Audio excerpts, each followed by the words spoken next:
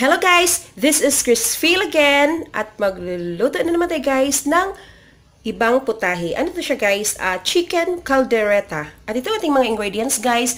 Meron tayong garlic, siling haba, green bell pepper, red bell pepper, at saka sweet potatoes. Meron din tayong red onions, carrots, at saka itong ating pineapple, at saka beans. Nabigay ito sa akin ni Ma'am Karin Humawan. Lulutuin ko na siya ngayon ma'am. At saka ang ating chicken na 2 uh, and 1 4 to siya guys na binili ko.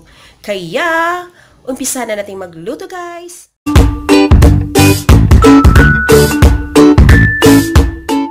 Mainit ang mantika, kaya ilagay na natin itong ating ahos, ah, bawang. At saka isunod natin ang onions. Marami-raming onions ang ilagay natin guys. Kasi marami rin ang chicken natin. Ano to? Mga limang piraso. kailangan mag-iba muna ang kulay niya bago natin ilagay yung ano. Uh, meron tayong ka kaunting siling haba. Sunod natin itong siling haba. Ano lang to siya guys? Uh, apat na piraso. Sunod agad itong ating chicken.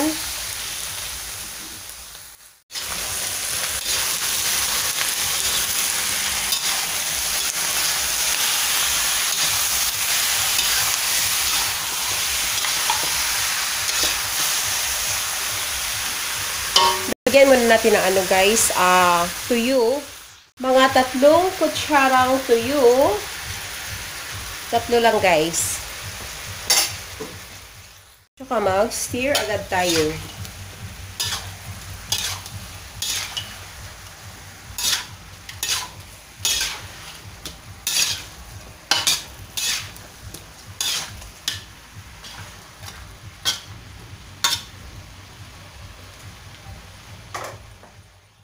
Tsaka dalawang kutsarang suka.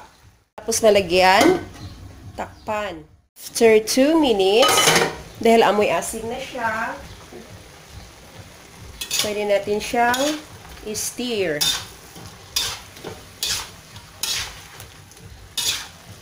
Tsaka maglagay na tayo ng ano guys, yung seasonings natin.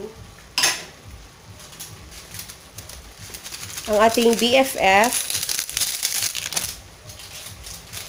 Dalawa ang inilagay ko kasi 2 and 1 fourth naman tong chicken natin. At saka ang ating tatlong kutsaritang asin. Tapos sukay-sukay. Kailangang sukayin agad.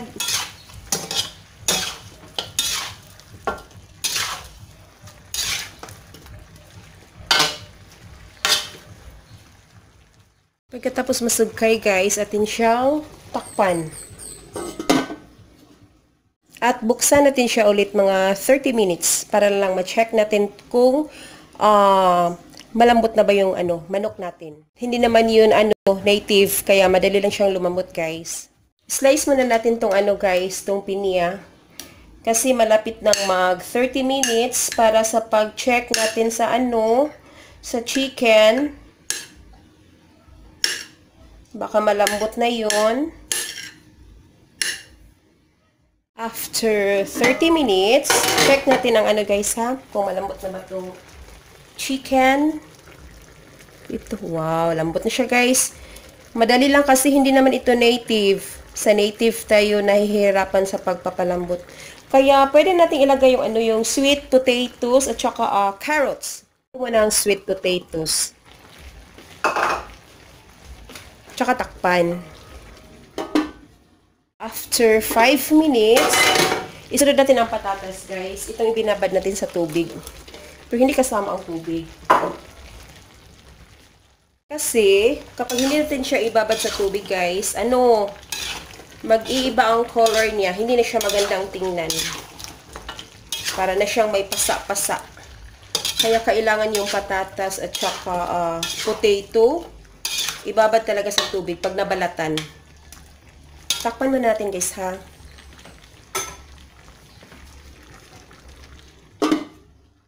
Kukunin mo natin tong uh, oil sa beans guys. Hindi siya kasama sa paglagay. Kailangan yung beans lang. Pero yung ano, yung pinya, pwedeng isama yung syrup. Pero sa beans, beans lang talaga. After 3 minutes, ilagay natin ang ano, beans at saka pinya.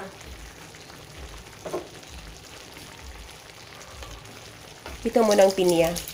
Isinama ko ang syrup niya, guys. Beans. Green bell pepper. Red bell pepper.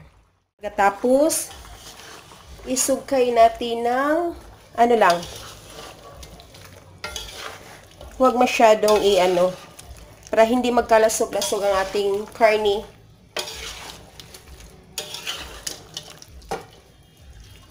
Takpan muna natin guys. After 3 minutes, atin siyang tikman guys. Kung masarap ba siya or ano ang kulang sa kanya. Kailangang may tikim talaga, hindi pwedeng wala. Hmm. Sarap na niya guys, pero gusto ko siyang uh, lagyan ng sugar. Maglagay tayo ng mga dalawang kutsarita lang na sugar. Brown sugar to. Saka magsugkay tayo. Ito guys, guys ha, kayo na ang bahala kung maglagay kayo ng ano. Maglagay kayo ng hot water. Kung gusto nyo ng may sabaw, kailangan hot lang siya guys.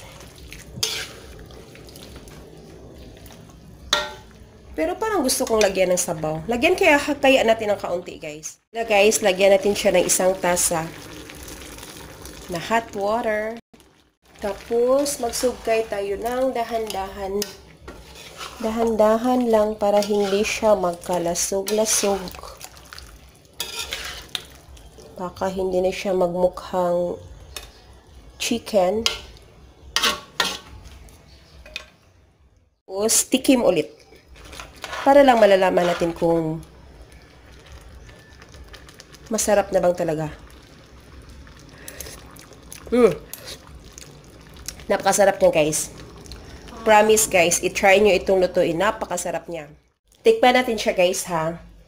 Pero kailangang may rice talaga kung titikim tayo sa kanya. Ito guys. Ang lambot ng ano, ng manok. Hmm. Sarap guys.